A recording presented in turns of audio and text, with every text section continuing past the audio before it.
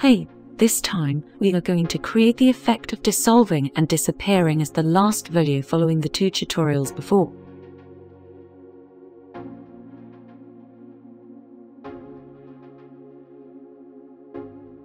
When you play the game as it was in the previous time, you can see there is no change in the material.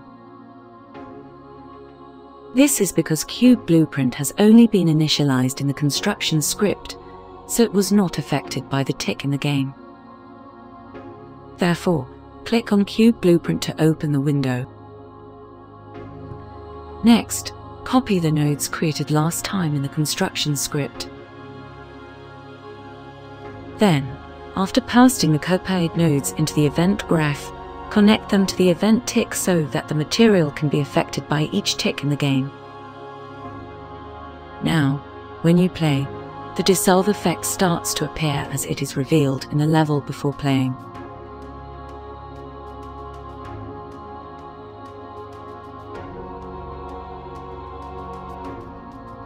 Next, click Open Level Blueprint to open the Level Blueprint window.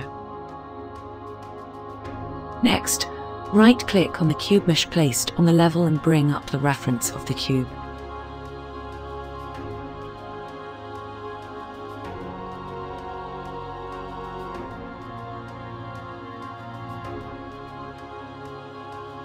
Next, create a dynamic material instance node on the cube and connect it to the begin play node in order to make the material change in real time.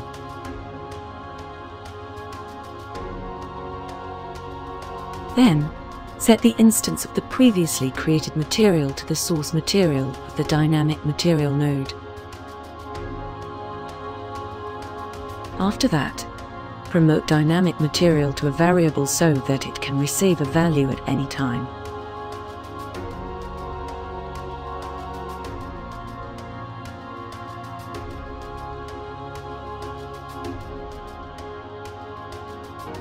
Next, create a variable of type float.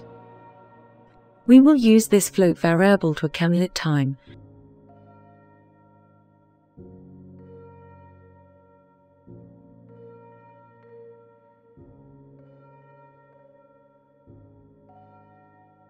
Next, drag the event tick node to create a branch node.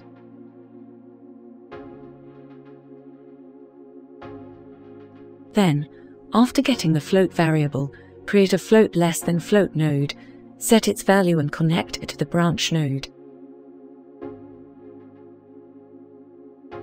Now branch will return true until the float node exceeds 1300.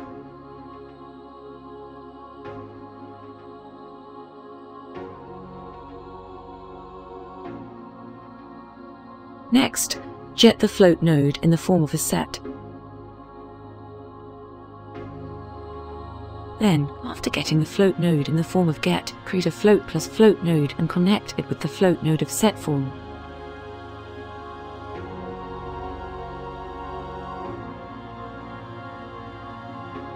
Now, if you connect a set type float node, one is added to the value of the float variable for every tick.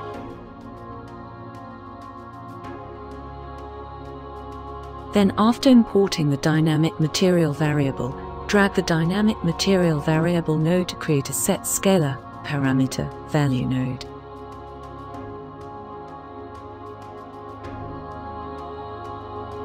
Set bound scale in parameter name of scalar parameter value node. And when you connect nodes like the video, the bound scale of the material increases until the float variable exceeds 1300 in branch and a false value is returned. Drag the false value of branch to create do once node and connect it then run only once.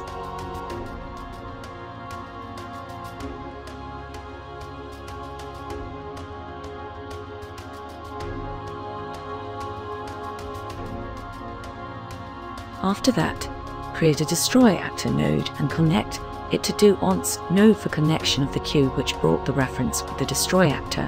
When a false value is returned, the cube will be destroyed.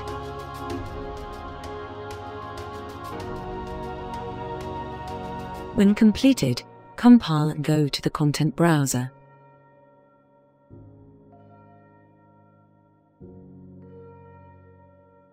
Now, when you play, the effect gradually increases from Cube Blueprint and disappears over time.